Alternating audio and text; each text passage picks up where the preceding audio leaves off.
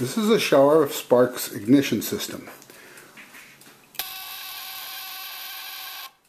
When you press the red button, the test button, it simulates closing the points.